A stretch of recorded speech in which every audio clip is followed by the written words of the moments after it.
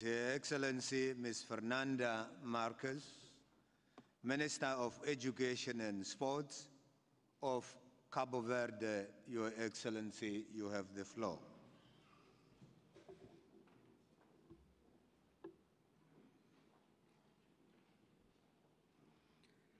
Madame la directrice générale de l'UNESCO, nos félicitations les plus distinguées pour votre leadership à la tête de l'UNESCO.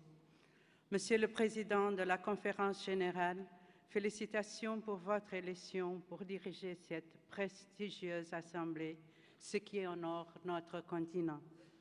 Honorable assistance, Mesdames, Messieurs, mes premiers mots sont pour féliciter notre organisation, l'UNESCO, pour ses 70 ans.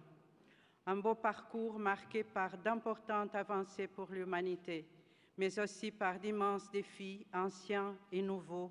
Des défis dans la gestion avec succès requièrent un partenariat global effectif, un soutien renforcé au mandat de l'UNESCO.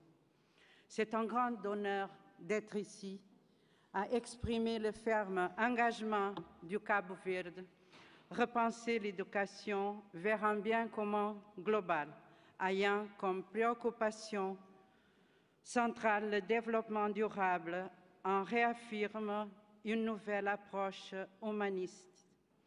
Cabo Verde est un, petit État insulaire, un archipel sahélien qui a atteint les objectifs du millénaire pour le développement, en particulier l'objectif 2, avec une équité de genre 1-1, et qui s'engage désormais avec les objectifs de développement durable. Dans ce contexte, les petits États insulaires en développement doivent continuer de bénéficier d'une attention soutenue de l'UNESCO. Dans l'année où l'UNESCO complète 70 ans, Cap Verde complète 40 ans de pays indépendant qui a toujours privilégié l'éducation. Le pays s'est démarré le 5 juillet 1975 avec un taux d'analphabétisme à 63% et à présent à un taux de 89% de sa population alphabétisée, où l'ensemble de ces 500 000 habitants sont scolarisés jusqu'au groupe d'âge de 25 ans.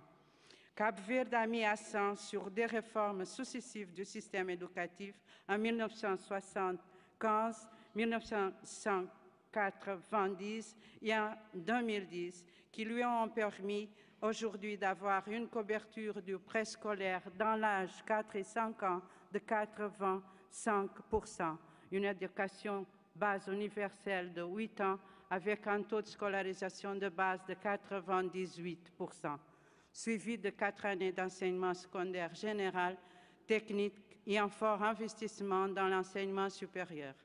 La troisième réforme du système éducatif qui s'est élargi la scolarité de base à 8 ans est en, en cours avec la reformulation des programmes de l'enseignement, les manuels scolaires, la formation des enseignants et un accent très fort sur le renforcement d'apprentissage de la et en langue maternelle, la langue capverdienne, les langues, la mathématique, les sciences, les technologies. L'engagement de repenser l'éducation comme un bien commun est déjà incorporé dans la gouvernance du pays qui a un programme gouvernemental intégré où les objectifs du développement sont placés transversalement en obligeant une action coordonnée et intégrée par les différents secteurs ministères, soutenus par un document de stratégie pour la croissance et réduction de la pauvreté. 3, un outil opérationnel dans le cadre des dépenses à moyen terme et d'une carte politique intégrée éducation, formation, emploi, permettant ainsi une budgétisation glissante annuelle avec un délai programmatique de quatre ans. Emile Cabral, le patron de notre nationalité, nous a interpellés que nous devrions penser avec nos propres têtes et nous devions apprendre toujours avec les bouquins, les autres, le monde. Nous pensons donc que le grand défi de développement durable entrepris aujourd'hui par le monde à l'horizon 2030 peut être accéléré par chacun d'entre nous si nous parvenons à obtenir une planification et coordination étroite entre les différentes politiques transnationales et nationales avec un réseau d'opportunités créé par les joints régionaux et locaux. En fait, si nous pouvons accélérer la communicabilité entre le GLONACAL, global, national et local, et ce que nous appelons le LONABAL, local, national et global, dans une utilisation plus efficace des ressources, nous gagnerons le développement durable. Cap Verde est en train de finaliser son processus d'adhésion au partenariat mondial de l'éducation et a finalisé l'élaboration d'un plan stratégique pour l'éducation à l'horizon 2025.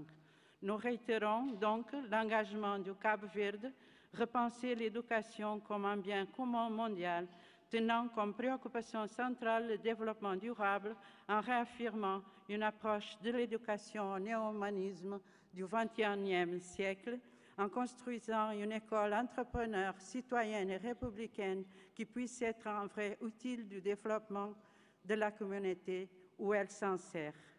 Je vous remercie. Muito obrigada a todos e a todas.